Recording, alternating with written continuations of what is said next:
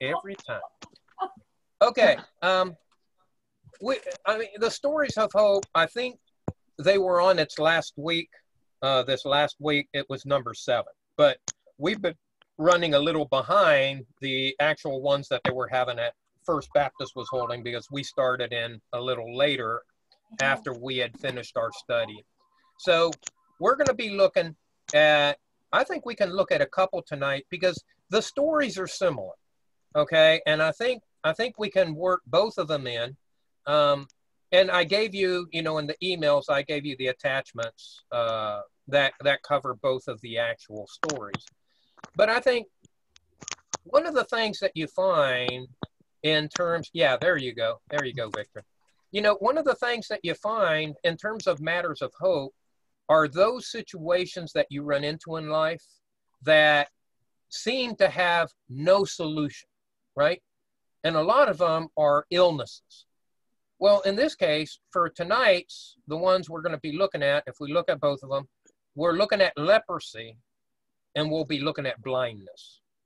Now, both of those can be difficult situations, right? Because, hey, back then, you didn't have any kind of optometrist that could work on eyes, and they hadn't gotten to any point where they could do anything about leprosy. If you caught leprosy, go back and read Leviticus, you know, about how leprosy was identified and what, even in God's economy, what needed to be done. See, people that had leprosy couldn't come in and be part of the community, could they?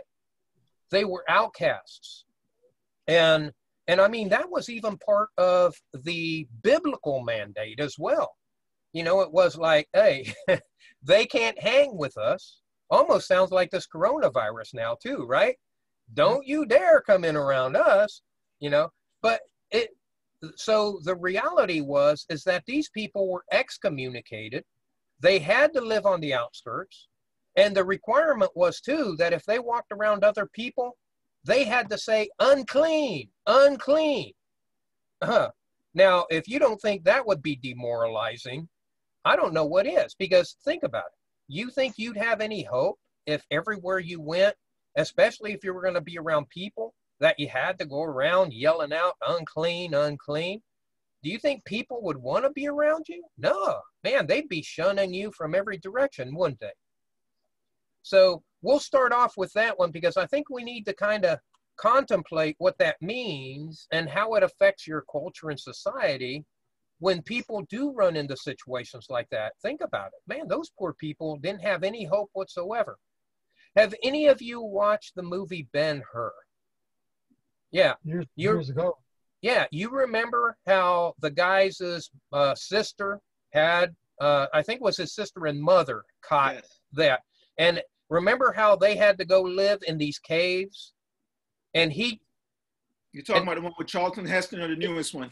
Uh, no, the uh, older one. Yeah, Charlton, Charlton Heston. Heston. And remember how he'd have to go visit them? He'd have to go outside the city to go visit his wife, and they had to stay at a distance from him. That was pretty realistic in the way that they portrayed that. Okay, in that Ben Hur movie, the old Ben Hur movie, like you said, Mark. Because I mean, that's and that was a real situation and a real condition that existed.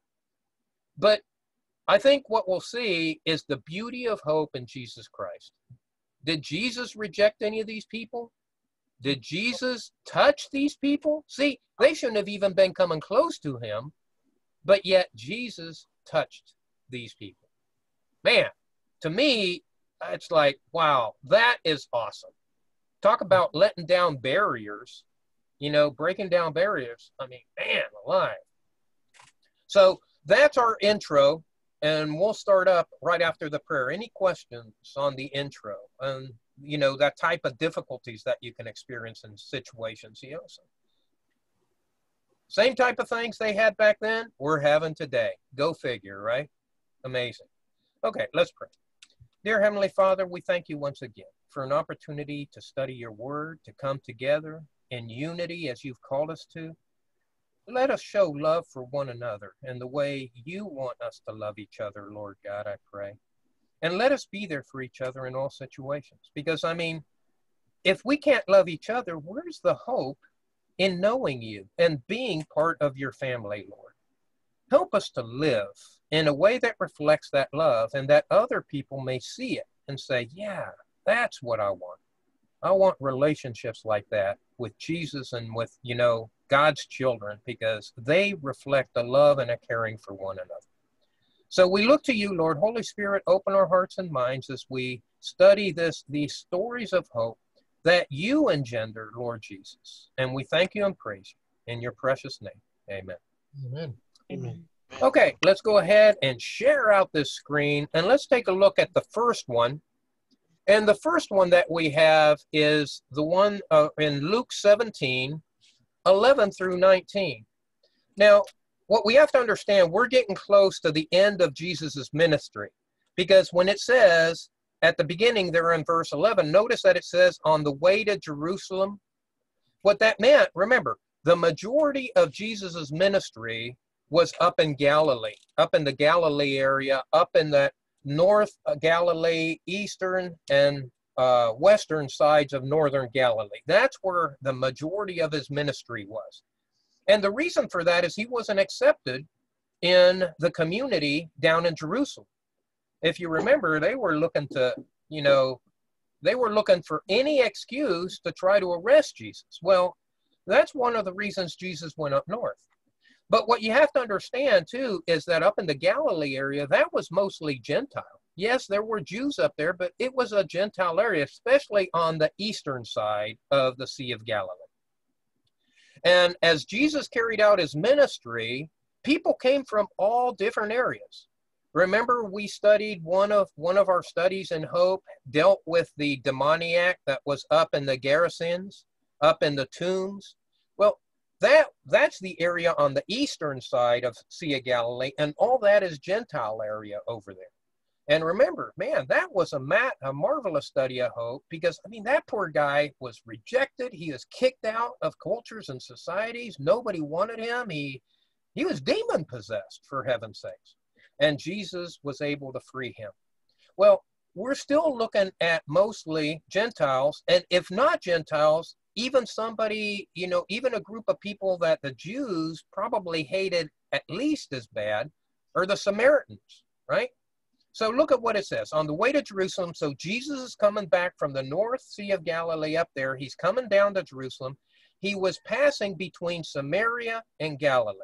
Okay, so he's on the western side of the Sea of Galilee as he's coming down because now, remember, the Jews hated Samaritans, Samaritan hated the Jews, right?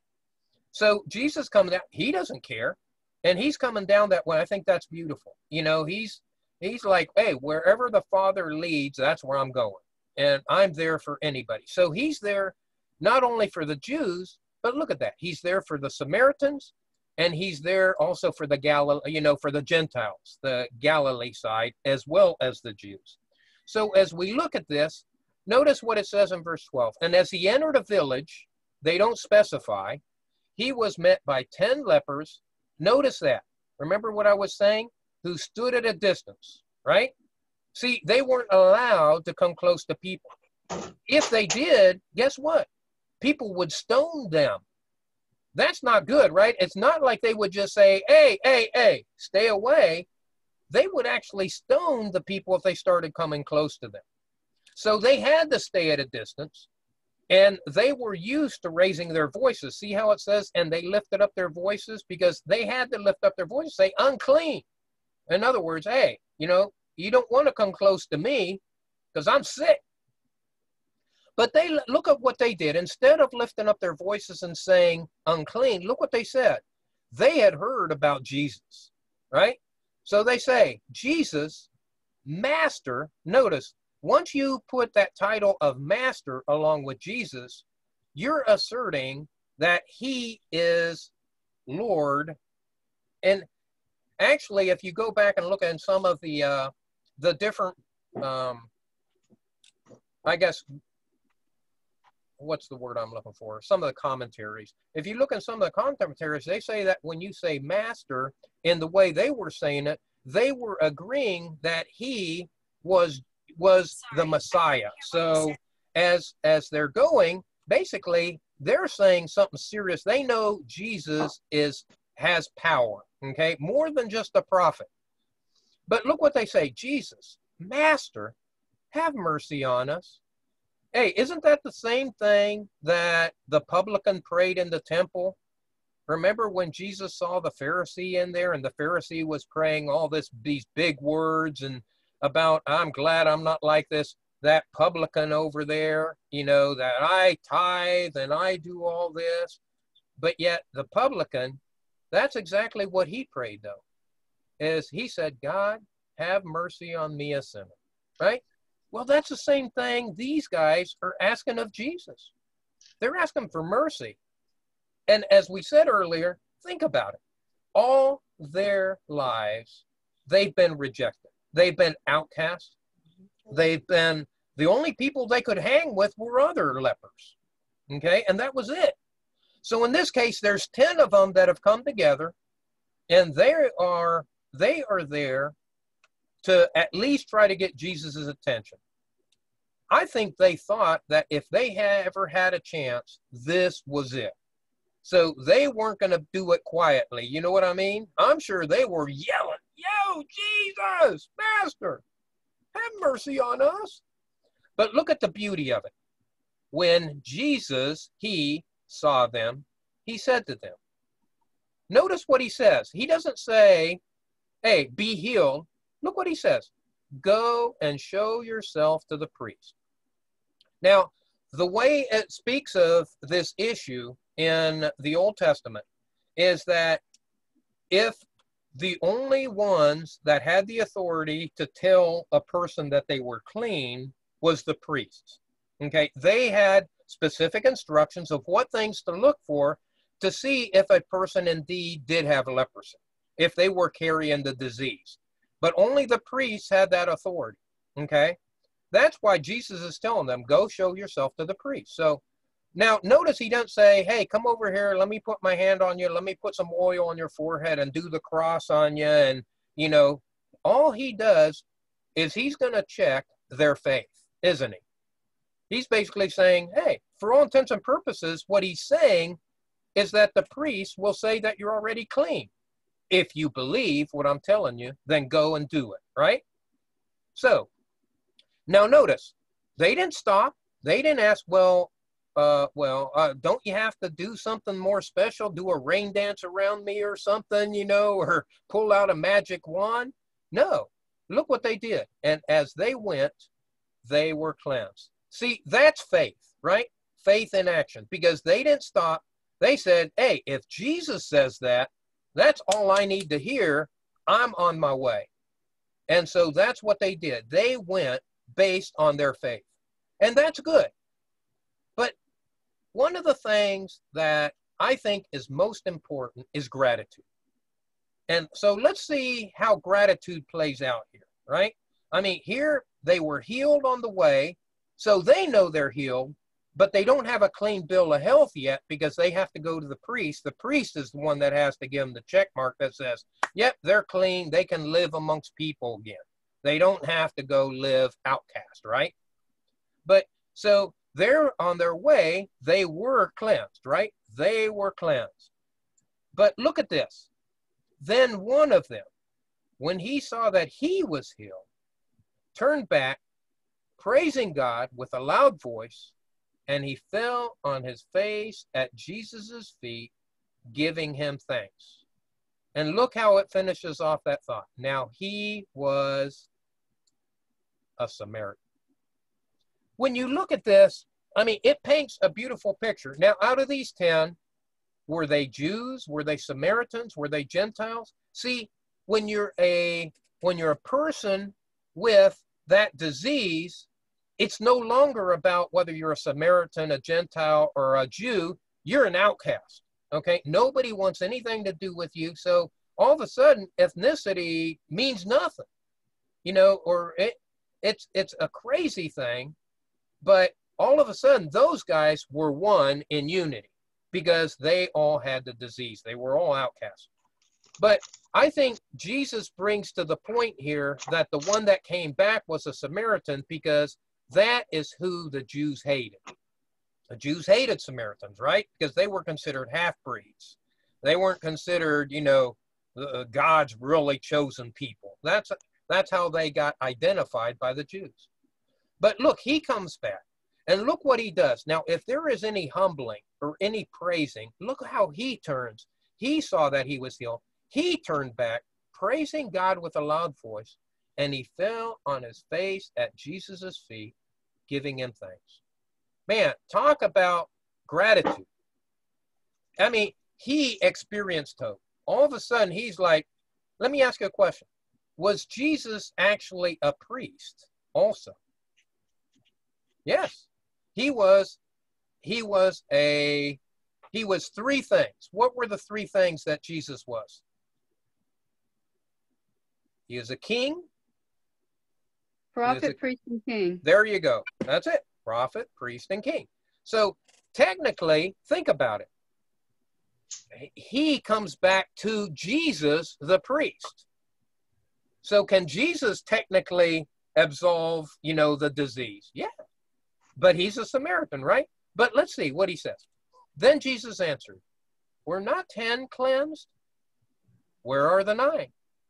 Was no one found to return and give praise to God except this foreigner? So chances are the others may have been Jews, okay, because Jesus specifically says this foreigner. And he said, Now look what he does. He said to him, Rise and go on your way. Your faith has made you well. Now, see, he doesn't say, wait, did you go stop with the priests? You know, he basically tells them, hey, you're good to go. He gives them the free bill of health. Now, and he's a Samaritan. So really, the, the Samaritan need a Jewish, you know, uh, absolution so that he could go back. Hey, it didn't matter to this guy. This guy came to Jesus and he saw that Jesus was his hope. Jesus was the one who fundamentally healed him, brought him back to life from his outcast death, so to speak. And so when we see that, all of a sudden, what does that bring out about Jesus? It brings out that, man, in Jesus we have hope. Jesus gives us hope beyond what this world can offer. Because nobody was able to offer those 10 anything, were they? Not until they came to Jesus did they have hope. But I think the beauty of it is they didn't come with a like this attitude of, hey, you need to heal me because I'm sick.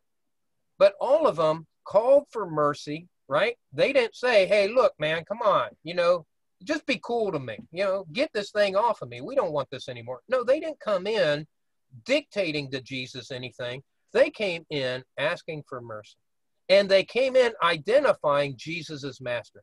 I think that that in and of itself put Jesus in a position where he said, Hey, these guys have the faith. And that's why Jesus said, Go show yourself to the priest. Go on, you know, and if you have faith to get back to the priest, you're good to go. And they did, and they were all healed.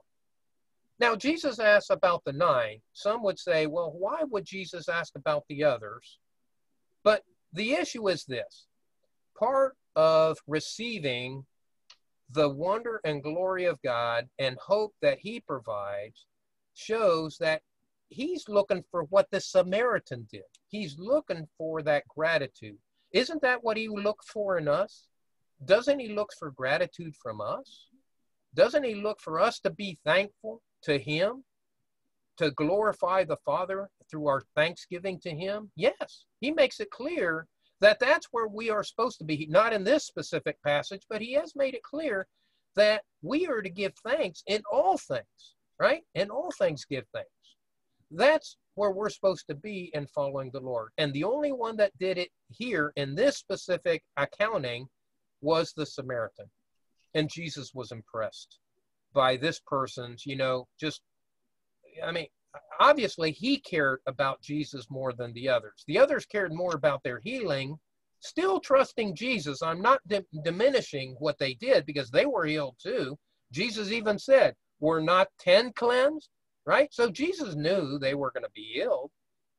But the issue is only the one came back. Only the one was thankful for the hope that Jesus had provided Him. And I think that makes a big statement to us too. We need to be thankful in all things because, hey, it's Jesus who provides, it's Jesus who gives, it's Jesus who loves. He's the one full of grace and mercy, right?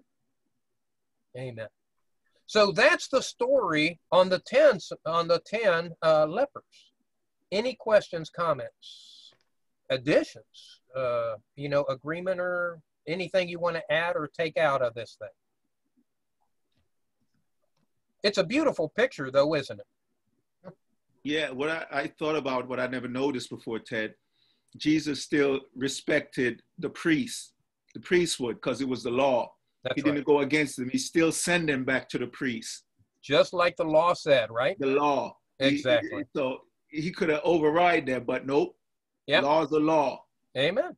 And You're I just noticed that he still sent them back to get, you know, Yep. approved by the priest. Yep.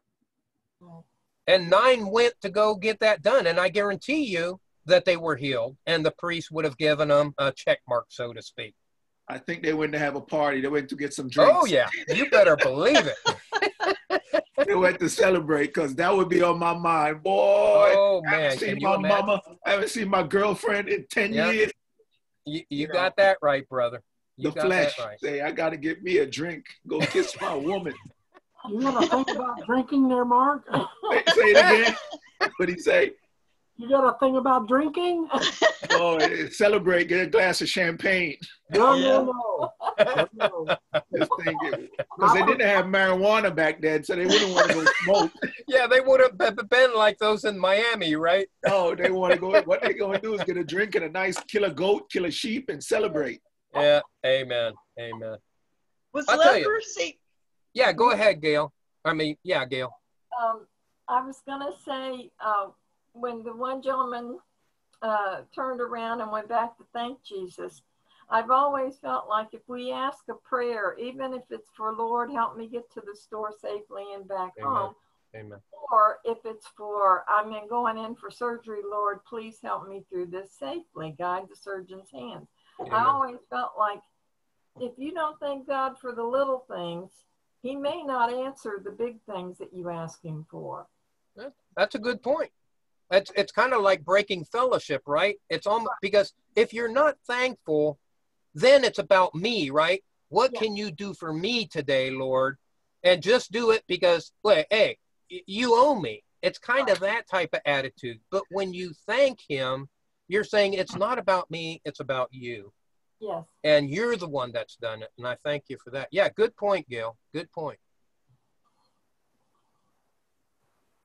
I was just wondering if leprosy, once you get it, do you you it's permanent? It's not something your body can fight off. That's right. Even today, they call it Hansen's disease. Yeah. and it's it's not something that is reversible.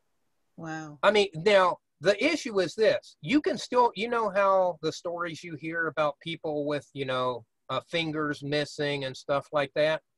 Well, the reason those people had fingers missing, they don't just fall off. They don't rot off in the sense of how some people have made the story. What happened is that since they were outcasts and they couldn't work, they lived in places like in Ben Hur, in caves or stuff like that. What happens is that your extremities do die. Okay, your nerves die, and the problem is is that those are dead appendages. You can't feel them on your extremities. And the reason that they would lose them is because, like rats or mice would come and gnaw Oh. them off. Oh and they my- didn't feel it because there's no nerves. And so people just automatically assume that they would fall off. No they don't fall off. Technically if you were very careful you could still keep your appendages. You wouldn't feel them and and uh, the the disease can spread in, in the body but the issue is the way you lost the appendages was usually by some rodent or something that would come or you could if you banged your hand against something really hard you know how you know and if it broke a finger or something it could fall off i mean it, it's a Oh. terrible disease a terrible disease It's obviously contagious. Uh, well that's why they kept people separated from them Yeah. I don't know. I don't know if it is. I'd have to look that back up in Hansen's, you know, Hansen's disease. I don't know if it's exactly the same thing as the leprosy they had back then. It's very similar in description, but I Hmm. don't know because I don't think Hansen's disease is actually uh, transmittable. I think Yeah, it. it's- Um, It's the same thing, Ted. oh, okay. Everything you just said with nerve damage. Yeah. Mhm. Yeah, it's it's not a pretty disease. Let's put it that way. It's not Yeah. a pretty disease, and it, it really damages, you know, your your appendages, and it can, you know, get to your whole body. Okay, I mean, it's it's a bad disease. It's a bad disease. There was a missionary that went over to minister to um, leper colony, and um, they wouldn't accept him for some reason or another because they thought he was. Um, I don't remember what the whole story was, but they wouldn't accept him because he wasn't one of them, I guess, and they didn't trust him. And then uh, he kept hanging out with them and everything. And then he woke up one morning and started seeing that white, whatever it is, Yeah. on there. Yeah. And he was actually kind of grateful that he caught the disease because once he did that, Then he was one of them. yeah. they accepted him. So it is still contagious. Yeah. Okay. And, um, you know, Yeah. there are leper colonies, and I don't know anything about that Hansen's disease, but Yeah. I do that that um, it is still around and still contagious. My question is, what about that disease actually takes you out? I mean, does it? Um, Well, now it doesn't take you out. They do have a cure for it, Ted. It's curable. Oh, it is. Yeah, Okay. Okay. it's curable. But again, poor people probably can't afford it. Oh, that's that, In those poor countries, they're not going to give it to them. yeah. No. Yeah. Um. no. yeah i don't know I, I don't know donna yeah but thank you all for that input i mean just to be accurate you know but uh, yeah i do remember that story donna i don't remember the name of the missionary but yeah i remember that story But I, I was just wondering if, like, if it if you lose feeling in your um, extremities, that that if it works its way in, then eventually your heart and your internal organs, you lose any. Well, if the Yeah. nerve endings don't work, then your heart would stop beating, or your lungs would stop working, or something like that. That's probably it. Just probably just eats it away from the outside in, and then you eventually just you know collapse because your organs probably fail. That would be my guess. But- yeah i don't i don't know i'm not that familiar with it but i just know it is not a good disease well i don't know any disease that is but uh, yeah so let me just make that clear.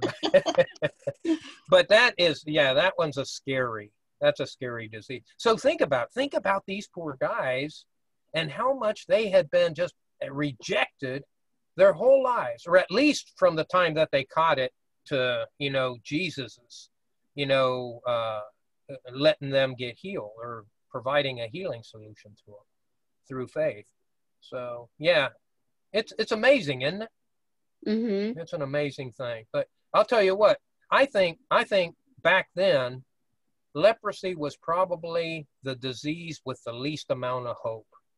I mean, it's like all of a sudden you catch it and you're excommunicated. You're gone. You're out of here. And that's it. You know, you have and and somebody's got to look after you. Okay? So that means family had to come and leave food. If you've watched that Ben Hur movie that one part, remember he'd come and leave food for his his mother and sister. And then they would come out of the, after he started going away, they would come out of the cave and pick up the food to eat. You know, I mean, they talk about a sad thing. Oh, by the way, in that movie, didn't they get healed at the end through Jesus? hmm Yeah, I thought so. Yeah, I thought I remember that they got healed at the end through Jesus. So, I mean, boy, I'll tell you though, it's it's it's a terrible thing. It's a terrible thing. So a lot of them probably died of starvation because they didn't have any. Ex- yeah, if they mm-hmm. didn't have anyone to come and look out for them, yeah. I mean, where where were they going to get their food? How were they going to get anything? You know, I mean, they were outcasts. They couldn't go into places where people were. I don't know if they could go into gleanings. You know how in the Old Testament it talked about, you know, don't reap to the edge of your fields, you know, so that God may bless you. Um, and then that was for the sojourner, the needy, the poor. I don't know if you know if a leprous person could go in and try to get some food from gleanings, as long as they stayed away from people. I don't, yeah, it's talk about sad. Eh, Talk about sad and a difficult thing. No hope. I'm It would seem like. that I lived back then. Yeah. I'm really grateful that I live in this day and time and not back then. I'll tell you, amen.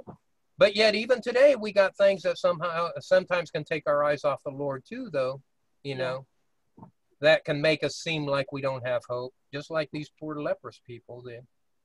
So, okay, yeah, go ahead. Uh, do you think that the Lord allows certain diseases to come to us now uh, to remind us of things like that? Um, I've I've often wondered about that type of question. Um, God is sovereign, so that means nothing happens that He's not aware of. Right. But the issue is like with Job, even though God did not cause Job's ailments, He allowed Satan to do it. So in the picture, you can't look back and say, God, you know, you're unfair, you're unjust, you're, you know, you're a meanie up there. You know, no, he does it, but he does it for a greater plan and purpose. And for us who are Christians, we know that Romans 8:28 comes into play, right? That all things work together for good to those who are called according to his purpose. And we're part of him. Now, those things happen. God doesn't separate Christians and say, okay, hey, Christians aren't going to get it. Only those that don't believe are going to get it. What, it. The Bible's clear that it rains on the just and on the unjust alike. Um, now, as to God do the results of these things that happen, I think He lets Satan do things, and Satan, being the prince of the power of the air, has the ability to do these things when God lets him do it, just like He did with Job. Okay, uh-huh. but I still think it affects unbelievers in a certain way. But I think the way it affects believers is in, in exactly the way you're talking about. We, what does it do to us Christians when we're exposed to these things? And the issue is this does it let you keep, does it build your relationship with the Lord, keep your eyes on Him, or, do, or does it cause you to start doubting your relationship with the Lord Jesus Christ? Right. So I think the Lord does it to build our faith, to build us up, to trust Him more and stop looking at the situations, but to cast our cares on Him and let Him handle it. And we look to Him for it. I think that that's the reason that God allows the evil one and the, as the prince of the power of the air to allow these things to happen in our in our world today. And and for us Christians, it helps us keep our eyes on Him, trust Him more, right? Right. Yeah. And it that- was what Job said, even though he slay me, I will still serve him. Amen. Amen.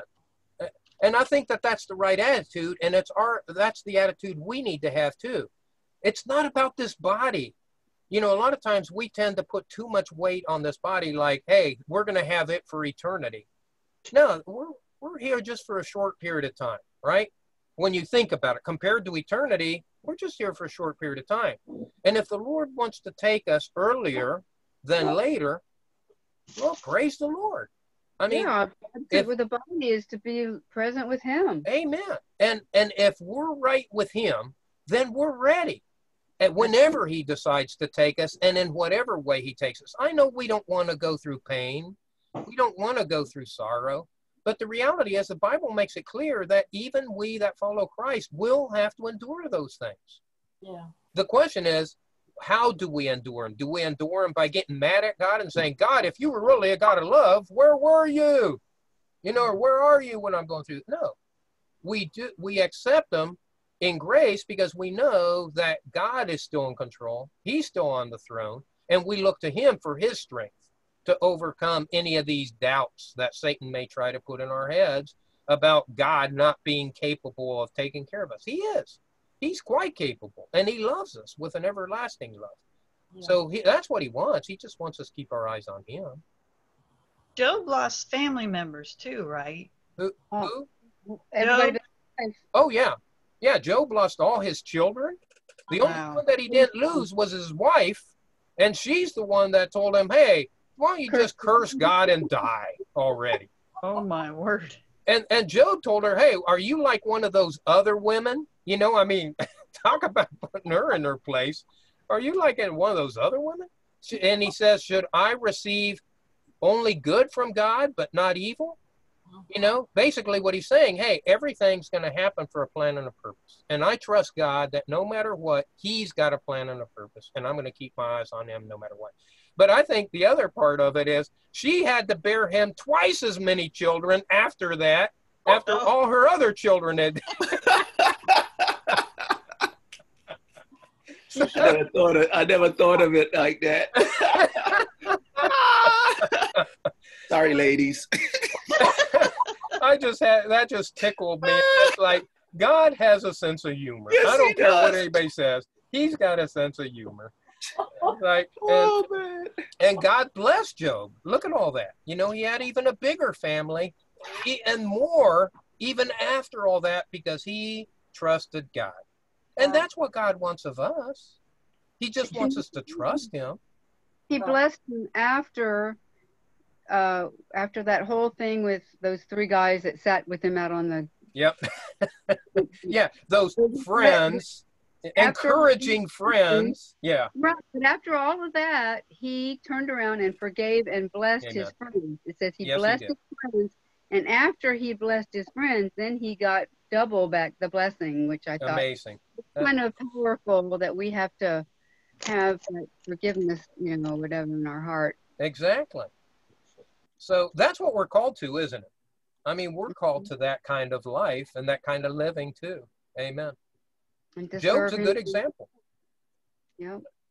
Amen. Okay, let's see here. It's 454. You want to try to do the other one? Uh, blind Bartimaeus? Yeah. Okay.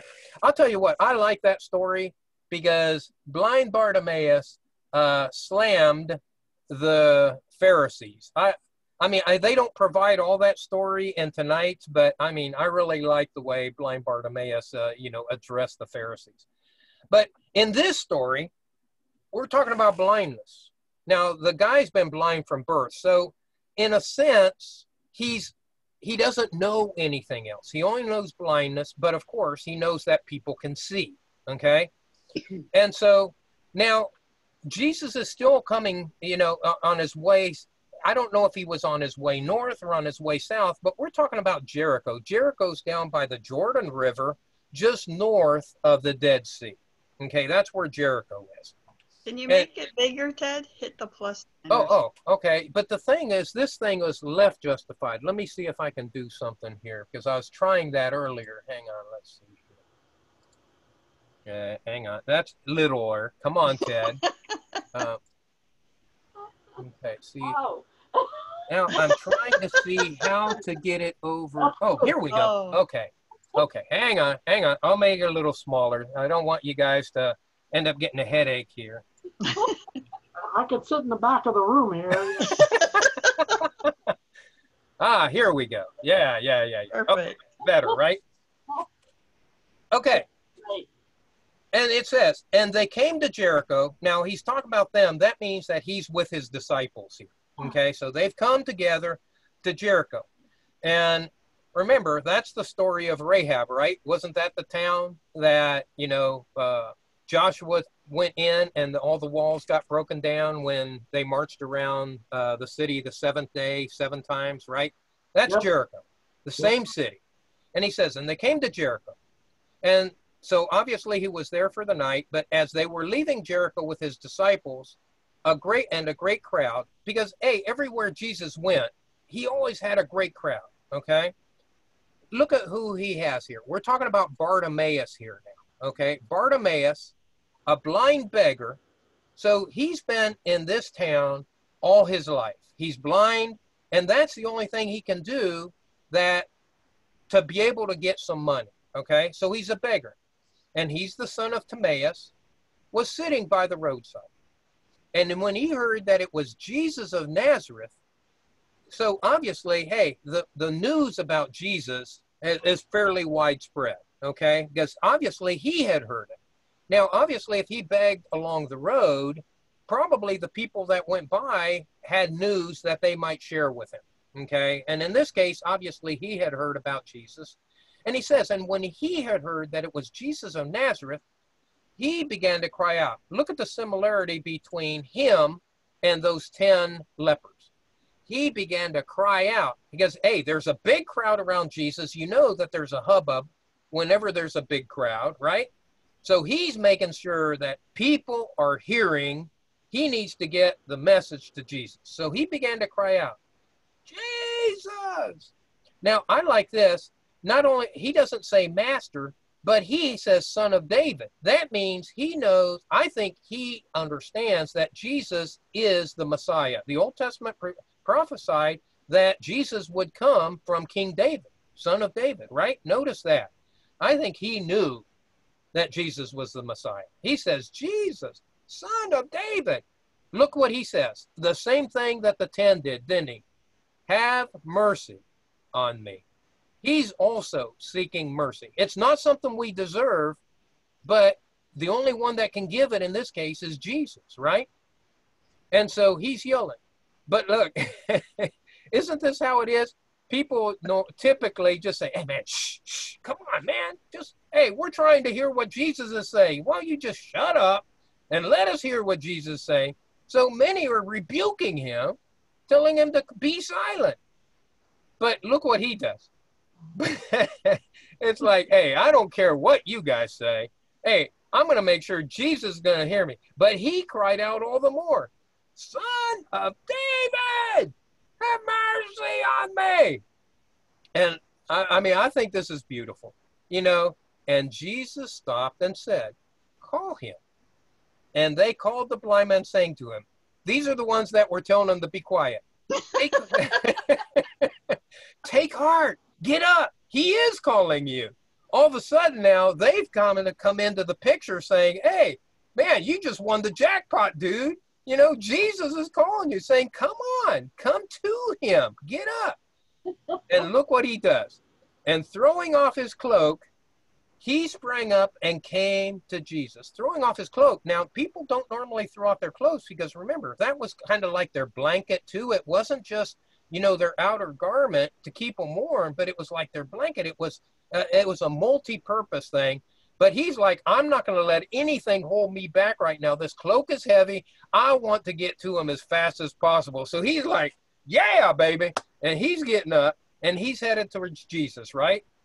And so, uh, and Jesus stopped and said, called him. And they called the blind man, saying to him, Take heart, get up. He is calling you. Throwing off his cloak, he sprang up and came to Jesus. And look what Jesus says in this case. Different his Jesus's interaction with him is different than it was with the leprous people.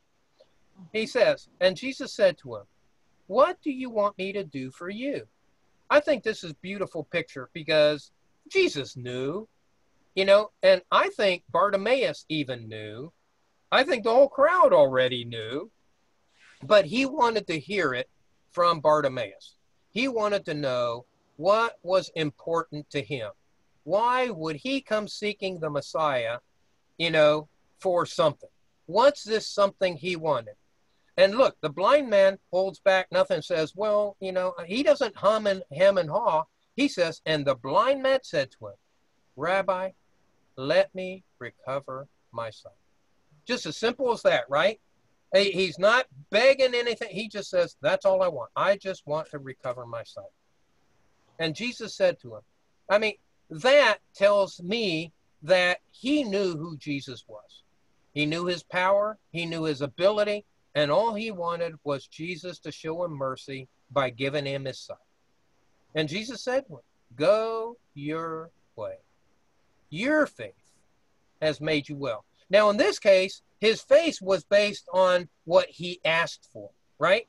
Remember, with the 10 lepers, it wasn't anything they asked for, right? He just said, go and show yourself to the priests, right? He already knew they were lepers. They were already there. He just said, go and show yourself to the priests. And, and on the way, they were healed, right? Well, in this case, he asks him right here, what do you want me to do for you? Blind man just said, Rabbi. In other words, that's a teacher uh, title. Let me recover my sight. And Jesus said, Go to your go on your way. Your faith has made you well. And look what it says. And immediately he recovered his sight. And he didn't go anywhere. Look where he goes. I'm going to follow Jesus. I think that that's that's beautiful. It's like, and he followed him on the way. And he had a great story. I mean, if you go read about him, I mean, he, I mean, the, the Pharisees actually call him in. and say, How did you recover your sight? And he says, Well, the man Jesus, he's the one that recovered my sight. Now, I mean, when you look at that, the and and the Pharisees kept harping him about it, okay? But finally he says, Oh, do you guys also want to become disciples of Jesus? And basically they cursed at him. what do you mean we don't want anything to do with that that loser? You know, that's their kind of their philosophy. And they spoke spoke meanly to him, but even to the point where they kicked him out of the synagogue. Ted, is that the one when he his mother and father came and he said, "Ask yourself"? I love that. That's it. Then you know, and so the, they called in the, his parents. They said, "Hey, what about this son of yours?" And I liked what the parents told him. Hey, he's old enough; he can speak for himself. You know, yes, I can tell you, he's been blind from birth. But they but had you- a thing about him being blind from birth. That's yeah, why they that was the issue. Yep, yep. Because that, see, they had this issue that nobody could heal a blind person but God. If they were born blind. That's right. If they were born blind. And see, that was why they were trying to get the the man or the parents to say, no, it was something else that happened. It was a fluke uh, that happened in his life or something like that. To try to get around that topic that they believe. they are the ones that believed it, as the Sanhedrin, the Pharisees, that only God could could, could heal a blind man, bring back a blind man's sight, as if they were born blind. And so, you see, that totally broke down their way of believing. It really put in the position a thing that they had to acknowledge that Jesus was from God. And see, they didn't want to do that because the next step is believing that Jesus was God. See the issue? See the problem that they ran into? And so when the parents came in and said, no, no, uh, we're not going to speak for him. He's old enough. He can speak for himself. Guess what? They cast them out of the synagogue too. Like, hey, if you're associated with this kid who's saying that he got healed by Jesus, then you're not, you know, you're not, you, know, busting up that myth, then you're out of here too. And you got to remember that if you were booted out of the synagogue, you basically had no support within the Jewish community. That's, I mean, that's how widespread the the actual issue was with those people that were, you know, that ran the sin, or I mean, that ran the temple, the priests, the, you know, the Pharisees, the Sadducees, and and the scribes, you know, the whole Sanhedrin. That if you got booted out by them, you had no support within the Jewish community anymore. Sucks. Ted, I got to go to church. You got it, brother. Bye. God All bless right, you, guys. man. Have a blessed night, guys. You too, Mark. God bless you, brother. Yep. So, I mean, when you look at that story, I think it's beautiful because, I mean, all he wanted, and I don't mean that in a in a in a minimal sense. All he wanted was to receive his sight, but he knew that there was no other way, there was no other hope than through Jesus of Nazareth. And hey, when he heard, it was like when he heard that Jesus was there, that he was coming down the road man, I think that that guy's probably his heart skipped a beat and he's like, yeah, you know, and he's like, I am not letting this pass by without talking to Jesus. And it worked out. He was able to talk to Jesus. Jesus healed him. I mean, it's a beautiful story because look what he did. And he followed him on the way. You know, he didn't take it for granted. It was just like that one Samaritan that came back from the tent. He worshiped the Lord. He followed Jesus. You know, the other nine were healed, but they didn't come back to follow Jesus. But this, the one Samaritan did, and we see also that Bartimaeus did. I think that's beautiful. You know, talk about hope. Talk about something that gives you a reason to live from then on. Those people really, in a sense, didn't have a reason to live. I mean, Bartimaeus was only going to be a beggar for the rest of his life, right? And and you can see how the people treated him. They said, "Shut up," and they would rebuke him. You know, it's kind of like, "Hey, you have no standing. You have no importance. So just shut up. Let us who are healthy and everything, let us enjoy Jesus. Not you. You're blind, man. You know, just stay there and collect your money as you go." And so you can see how that type of person was treated in that culture. But once he was healed, guess what? He was treated as a human being, just like the those uh, those lepers that also got healed. All of a sudden, they are no longer outcasts. They're back as part of the community. But I think the bigger beauty of it all is that they have a message about who healed them. Even the nine had a message about who healed them, the ones that didn't come back and say thank you to Jesus. They all had a message of hope that Jesus did that for them and that Jesus had that power. And who knows, uh, following Jesus, they would have learned Jesus was the Son of God, the Messiah.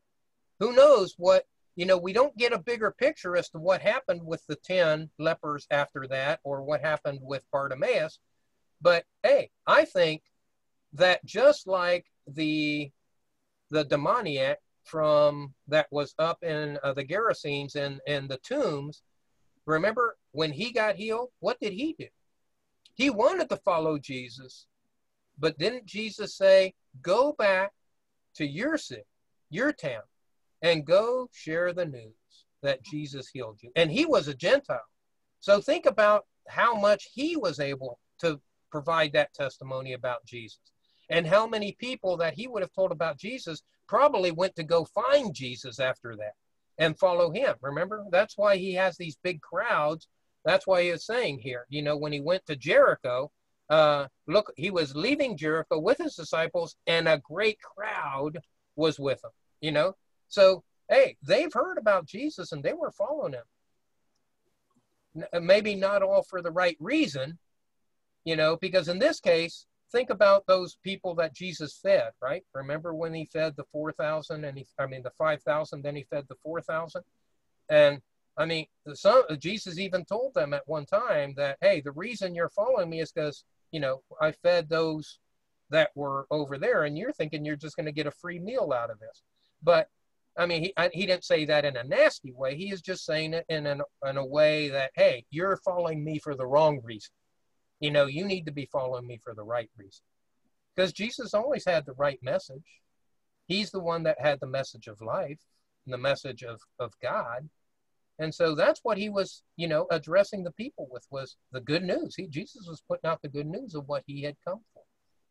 So I forgot already. Did he tell the lepers your faith has made you well? Nope. Nope, because he, they left. You know, but he oh, did, that's right. They, that's but right. but the one that came back, hang on, hang on. But the one that came back, I think he might have said something. Hang on, let me see something here on that one. Um, on Jerusalem, uh, and Jesus answered, "Were not ten cleansed? Was not one found to return and give praise to God except this foreigner?" He said, "Rise." Yeah, see, he did say it to the one guy that came back. At the very end, he says, "Rise and go on your way. Your faith has made you well." Only to the one, even though the others were healed along the way. So they had faith. But in this case, Jesus was more pleased with the with the leper, I mean, with the one Samaritan leper out of them all. So yes, yes. Well, if you don't get healed though, that doesn't necessarily mean you don't have faith. That's right. Um, well, didn't Jesus say that if you even have faith as a grain of a mustard seed, you can move mountains? Um, I mean, the thing is, it's in the trust of the Lord Jesus Christ, it's in the trust of God that these things come about. It's by trusting Him. That's the faith we have, is when you, we read His Word and we say, I accept it and I accept God, that's faith. That's trusting Him, even though in some ways your your human rationality may be saying, yeah, but that doesn't make total sense, or I'm not really sure about that. You you throw that aside, and that's what the Romans 12 2 thing is about. We're no longer, you know, uh, being not we're no longer conformed to this world, the way of our worldly thinking, but instead we're transformed by the renewing of our mind. So when we have that struggle between what the world wants us to do and what God tells us to do or expects us to do based on His Word, we need to go with what the Spirit gives us direction to do. And in doing that, then then we overcome these weaknesses of the flesh, these problems that can hang us up in that type of a situation because we trust Him. That's what He wants. He just wants us to trust Him, to love Him, to trust Him. And Jesus said, Hey, and if you love me, you obey my commandments. He didn't say if they make sense to you. He just said you will. Because that's we our trust is in him, our love is in him, we care about him, and he loves us with an everlasting love. So yeah.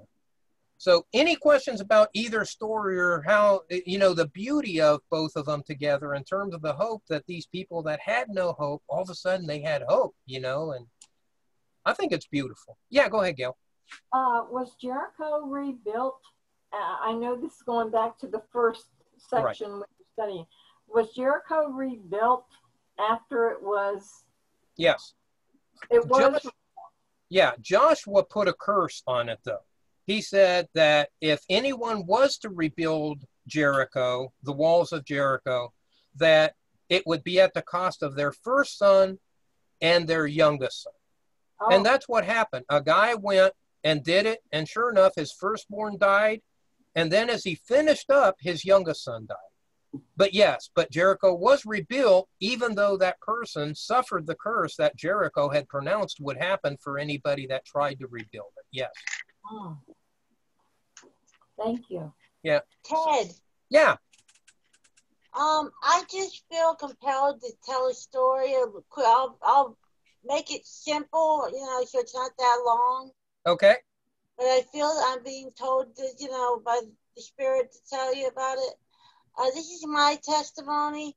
Um, I uh, nobody knows that I was going to say this.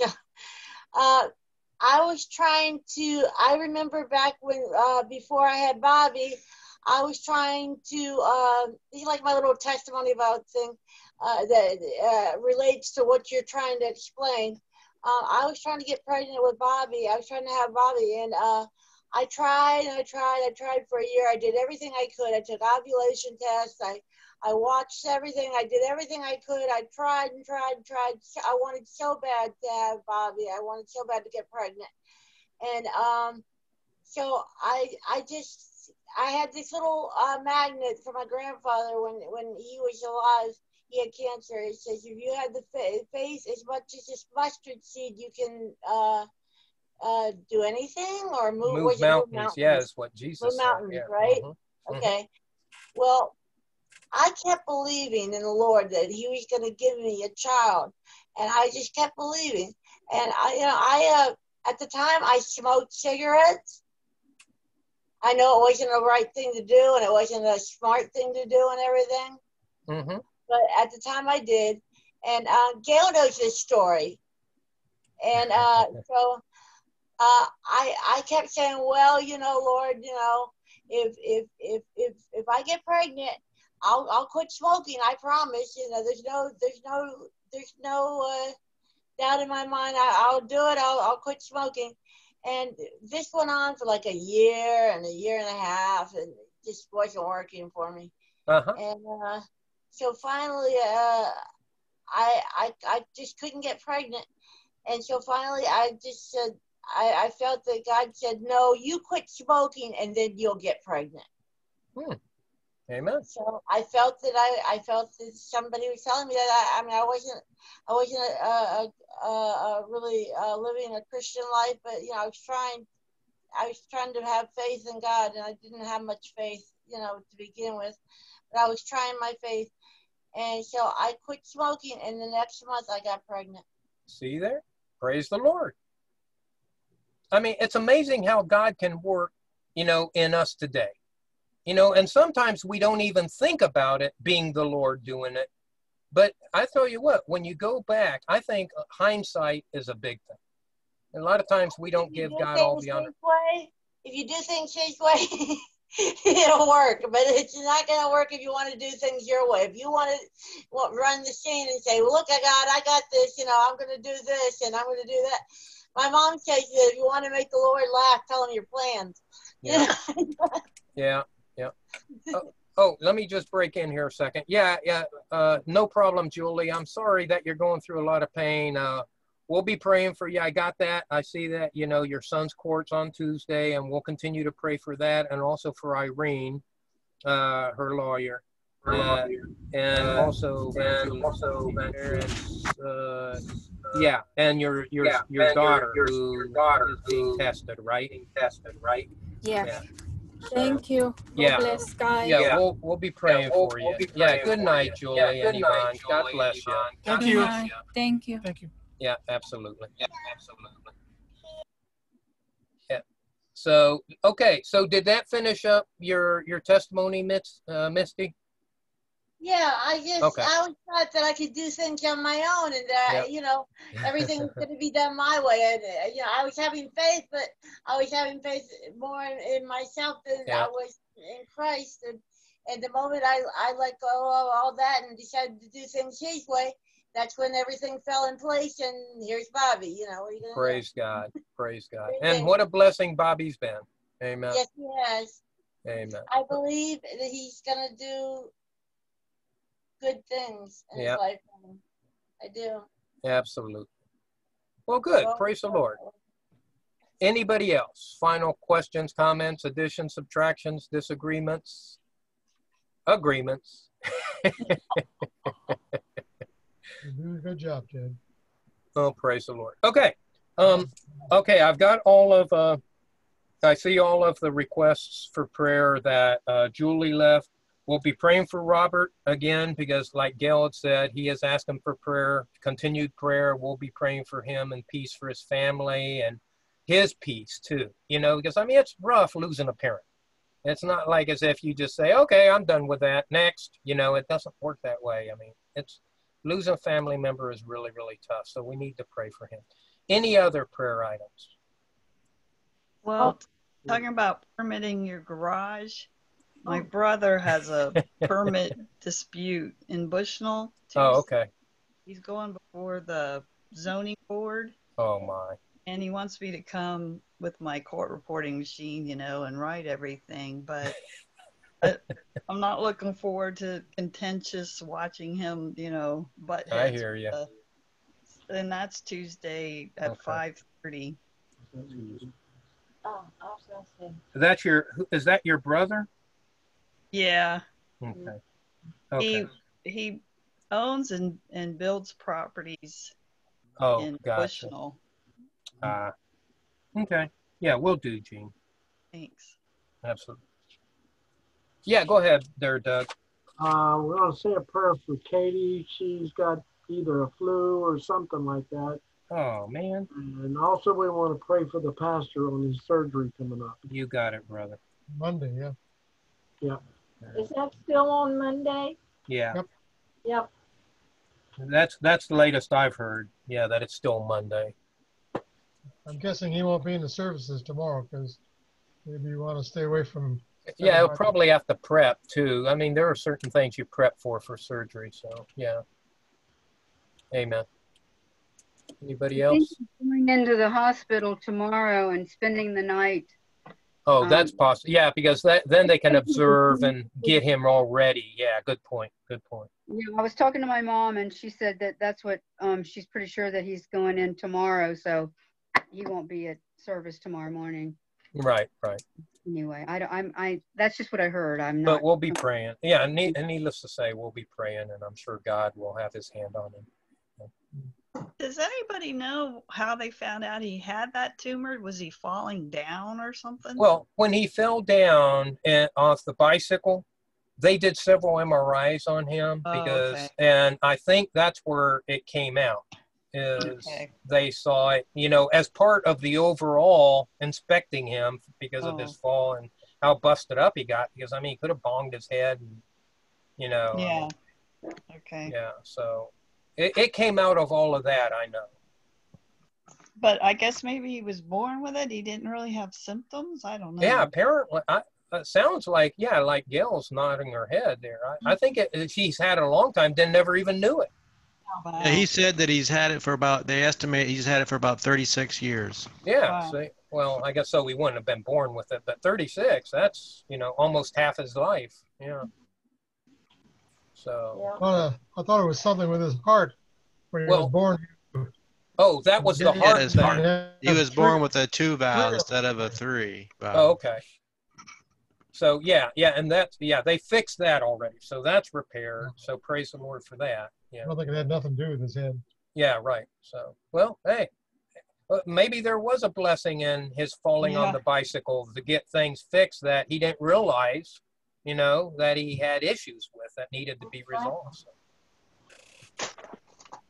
Yeah, I'm sure he'd say, "Hey, Lord, couldn't you have done it? Like, just revealed it to me instead? Just tell me I got." Did I have to go through all of this? Do it the hard way. Amen. Amen. Oh, okay, well then let's pray. Dear Heavenly Father, we thank you for these great stories um, of how you worked some wonderful opportunities for people that appeared to have no hope. But in you, Lord Jesus, man, they they were able to come into a full and productive life after they met you and after they, you know, had an experience with you. And Lord, I know that you work the same yesterday, today, and forever, and that you're there for us in all things. Lord, let us have that same kind of faith that Bartimaeus had, that, you know, and like the Samaritan that came back and praised Jesus for what he had done for him. Help us to walk in that kind of faith, to trust you through every situation in our lives and not to look at it in a negative way, but look at it in a positive way because you are in control.